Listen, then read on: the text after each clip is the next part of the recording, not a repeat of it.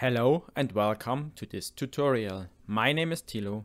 This tutorial shows you how to connect MADRIX 5 and the visualizer using Streaming ACN. As visualizer, we will use an executable visualizer file, a so-called presentation, which was created with Capture. For this tutorial, we will use an already created MADRIX setup and the named presentation. You can download both in a zip file. The link you will find in the description of this tutorial. Once you have downloaded and unzipped the file, please start the presentation first. If you start the presentation the first time and you are using the Microsoft Firewall, the Windows security alert appears.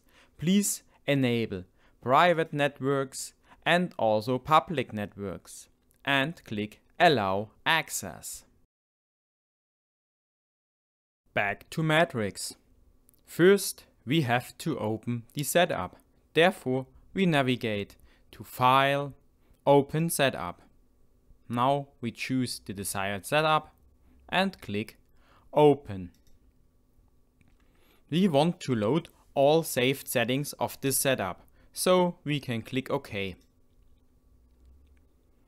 Now we have to activate the output of the streaming ACN protocol. Therefore, we navigate to Preferences, Options.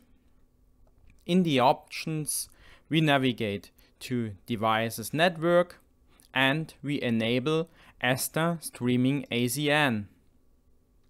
In this project, we only need 5 universes, so we can change the ACN device count to 5. And we can click OK.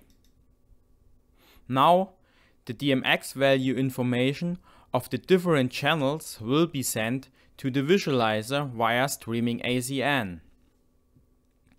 When we are working with a presentation, we can ignore this warning. So we can close this via clicking the X. Now we are able to create our lighting effects. For instance, I will change the effect on the right side to an clouds effect and when I change the crossfader to the right side, the clouds effect will be playbacked.